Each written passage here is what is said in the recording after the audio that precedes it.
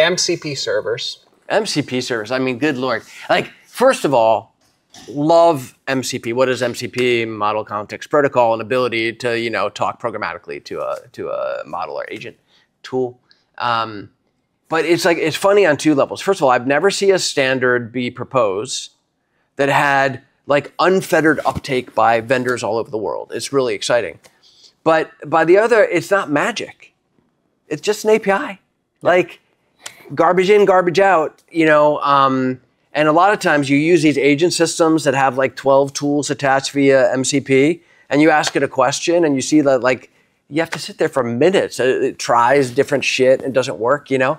It's like MCP is incredibly powerful when used in the right way for known systems to talk to known tools with like the right uh, information as to when to use them so it can be efficient.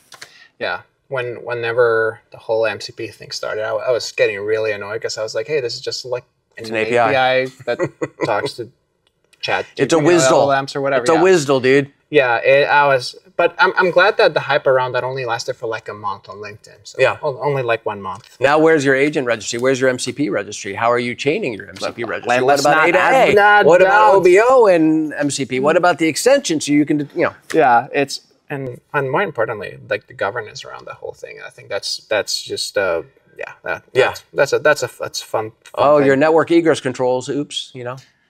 Yeah. It, do you feel? I, I guess this is this is actually a good question. Uh, well, I think it's a good question if I can humbly say so.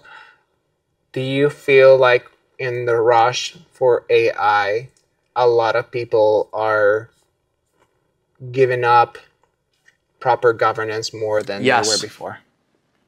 Yes, there's all these kind of. I mean, It's scary, man. it's. uh I don't want to be too um overstating it.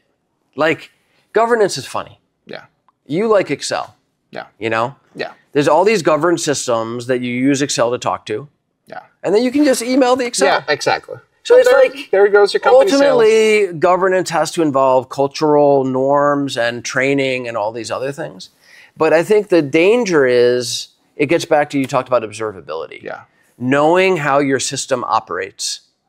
Um, the you know you don't want to have a bunch of point to point MCP stuff. Yeah. You have to have all your MCP servers registered in a place where you know how they're used, for example. And we're moving there with Unity Catalog. There Yeah. could be other systems too, but it's uh, uh, point-to-point web of connections is death for you know a production system.